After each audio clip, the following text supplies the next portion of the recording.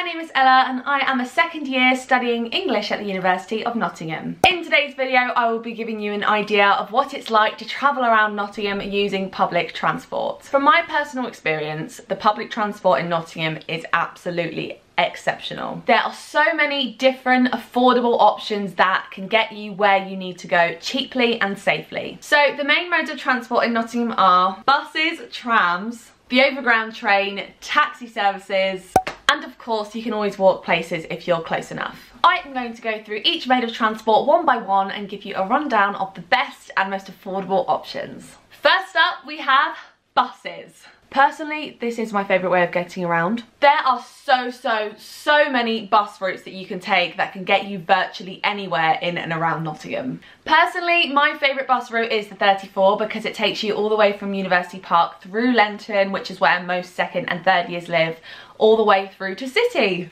And it runs every five minutes during the day, so it's literally so quick and easy. You don't even really have to stick to a rigid timetable with a 34, it kind of just comes every five minutes. There is even a 34 night bus, so for example, I have a part-time job at a bar in the city and I don't always like to pay for taxis only because it can end up being quite expensive over time so I get the 34 night bus and it's a perfectly cheap and safe way to get home. There is also a free hopper bus that you can get between University Park, Sutton Bonington and Jubilee campus. You can acquire NCTX bus passes for around £200 I believe.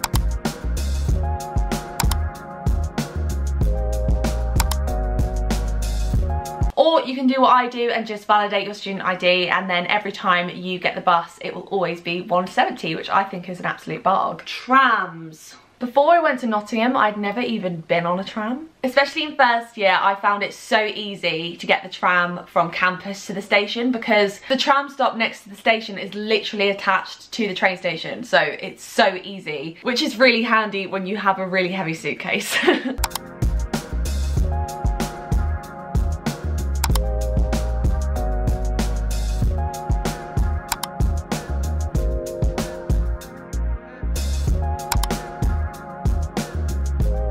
Speaking of, trains. Because Nottingham is so central in England, it is actually really easy to get anywhere in the UK. I would say though, make sure you get a student rail card. You can get quite a hefty discount if you use your rail card, so it's worth getting. Also, I would recommend always buying your train tickets on Trainline because you can book ahead and it actually makes it so, so, so much cheaper if you know when you're gonna travel somewhere. Finally, taxi services. There are so many different taxi services in Nottingham. You've got Uber, DG Cars, Unicab, and so many more. I personally find Uber to be the best because you can book them straight from your phone and it will come to wherever you are. And also I find that generally the rates are a little bit cheaper with Uber. Um, I know that Unicab also do fixed rate taxi so that the rate never changes no matter what time it is so it won't be affected by like traffic or surge prices which is also really good if you prefer that option. Although generally I do find taxis really cheap in Nottingham. You'll never be spending more than £15.